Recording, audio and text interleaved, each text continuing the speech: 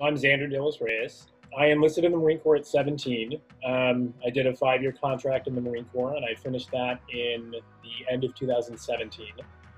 I took kind of a year off after separation um, and I started at Saddleback in fall of 2018, um, looking for new challenge and new purpose in my life and uh, even some academic redemption, which I eventually found at Saddleback. What I think some veterans have a hard time with is going to school and, and being a lot older and, and having different experiences from your peers who are, you know, 18, 19, 20. Um, in my first semester, I, I, didn't really feel connected with anybody. Um, I was kind of having some difficulty getting getting assimilated, and what really led me to feel like part of part of uh, the campus and the culture was the LRC, um, the Learning Resource Center, and the tutoring provided there. Um, so after six years away from just any form of math, I needed to go back and you know learn these fundamentals again and all of the student tutors there really helped me one you know get an a in that math class but but b they really helped me kind of feel like i was a part of saddleback. That definitely was my first experience as uh, feeling like part of the community. I got a 4.0 my first semester and that was kind of this moment of, of realization of saying okay you know you you had a poor high school gpa but the 4.0 might suggest, you know, that's not reflective of, of your capability, but maybe just immaturity at that time and at that age.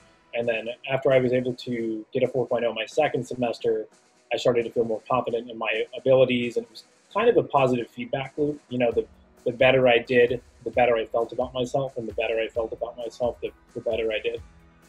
I took a philosophy of ethics class, and that kind of tiptoed into jurisprudence and, and looking at um, case law and that is kind of what introduced me to the idea of, of studying law and of jurisprudence. Um, and that was the first time that I considered pursuing law school. It was in my second semester that people started, you know, pushing for uh, scholarships. All the faculty were saying, you know, it's it costs nothing to apply, you never know. And that's when I first became um, familiar or aware of the Saddleback College Foundation. I had never felt like a student worthy of scholarships. When I got the email telling me that I won two scholarships, um, I didn't really know what to do or, or how to react initially. It really does have a rippling effect.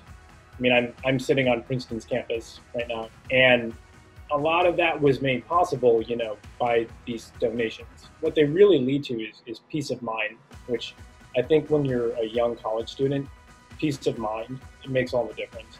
I'm, I'm confident saying that 17 year old Xander would not have imagined a world or a path in life where I was getting into Princeton University.